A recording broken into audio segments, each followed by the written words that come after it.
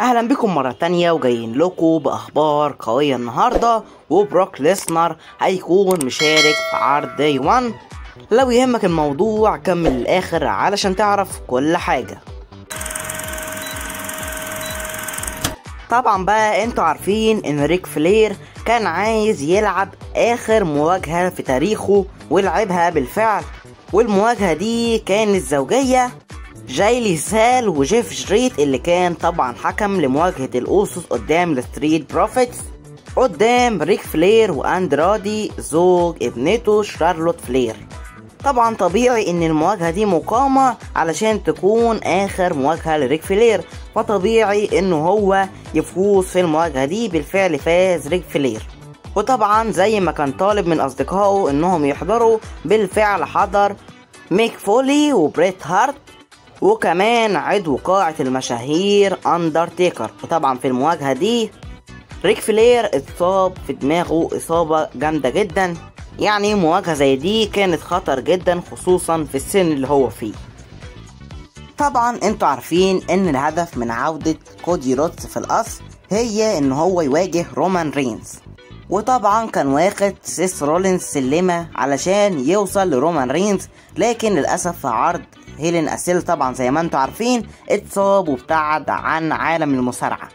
طلع بقى كودي روتس في مقابلة حديثة عن أي عرض هو عايز إنه يرجع فيه. وطبعا بقى أشار إلى المعركة الملكية. طب إيه هي المعركة الملكية؟ أكيد Royal Rumble. قال إن Royal Rumble هي أنسب مكان علشان يعود فيه وطبعا أكيد كلكم عارفين إن كودي روتس هيعود في ال Royal Rumble وهيفوز بيها وقلنا الكلام ده قبل كده. قال بقى لأن عرض Royal Rumble أنا قادر منه إن أكون من الخمسة الأوائل. طب يعني إيه بقى الخمسة الأوائل؟ علشان تواجه البطل لازم يكون ليك تصنيف عالي علشان تقدر تواجه البطل. طبعا دي كانت مواجهة حديثة مع كودي روتس وطبعا أشار تاني انه هو هيعود في عرض Royal Rumble طبعا الاتحاد بقى خلاص خلص عرض SummerSlam وبيجهز نفسه للعرض اللي بعده وهو Clash at the Castle طبعا الاتحاد أول ما انتهت مواجهة بروك ليسنر ورومان رينز بساعات نزل البوستر ده. طب الكلام ده معناه إيه؟ معناه إن الاتحاد كان محضر إن رومان رينز يفوز على بروك ليسنر. علشان مواجهة رومان رينز قدام درو ماكنتاير كان متحضر لها من وقت طويل. وطبعا هما كانوا أبطال البوستر السابق. طبعا الاتحاد معتبر إن عرض Clash at the Castle من أكبر العروض الأوروبية اللي اتعملت في السنوات الأخيرة. في شيء مش عاجبني في بداية العداوة دي. هل شيمس شيء قوي علشان بعد ما يفوز عليه درو ماكنتاير ينتقل على طول علشان يواجه رومان رينز؟ يعني بصراحة العداوة دي كان المفروض يتحضر لها أقوى من كده. لأن لسه في وقت كبير على Clash at the Castle طبعا كانوا ممكن يعملوها تصفيات واللي يفوز يواجه رومان رينز لكن هم عملوها بكل تفاهة. درو ماكنتاير يفوز على شيمس يتأهل لمواجهة رومان رينز رومان رينز بقى بعد عرض SummerSlam حقق أرقام قياسية جديدة. طب إيه هي بقى الأرقام دي؟ كده رومان رينز بقى أكتر واحد يحمل لقب ال Universal Champion قعد بيه 700 يوم. طبعا هو أطول بطل خلال آخر 35 عام.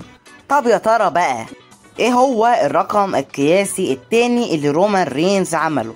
رومان رينز هو المصارع الوحيد اللي فاز على بروك ليسنر أربع مرات متتالية. طب إيه هما الأربع مرات دي؟ فاز عليه في سمر سلام 2018 وفاز عليه في عرض كراون جول اللي كان في السعودية وفاز عليه في راسلمانيا 38 وطبعا لسه فايز عليه في عرض سمر سلام لما كانت المواجهة Last Man Standing يعني من الآخر كده رومان رينز أهان بروك ليسنر جدا.